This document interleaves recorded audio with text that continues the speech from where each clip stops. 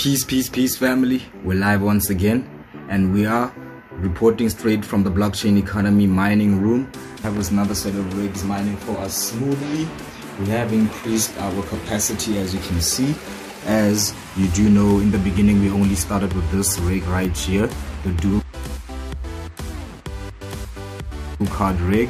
But at the end of the day, we have expanded our operation successfully.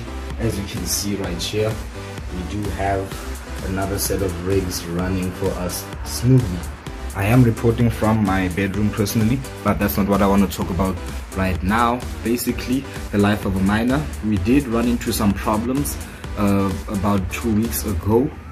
Our system, this one right here, Old Faithful, the oldest one, it was mining successfully for about an hour and then it stopped mining and it kept on doing so all the time so I had to troubleshoot the system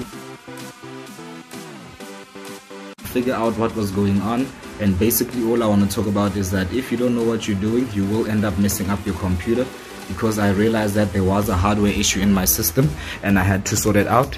I found I did find the culprit but it wasn't as easy as I thought it would be family. It wasn't as easy as I thought it would be. The culprit was this right here. This is a power supply. So my power supply fan gave up internally.